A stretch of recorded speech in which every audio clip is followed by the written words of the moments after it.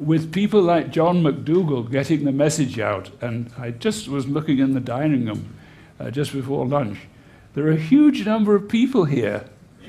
So John McDougall actually is doing much more successful work than I ever will. I mean, I publish these little papers. I don't think many people read them.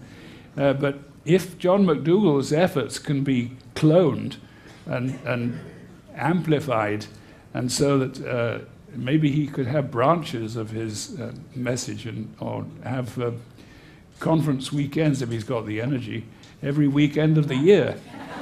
but how can we expand John McDougall's um, few hundred here today to be a, a few thousand next month?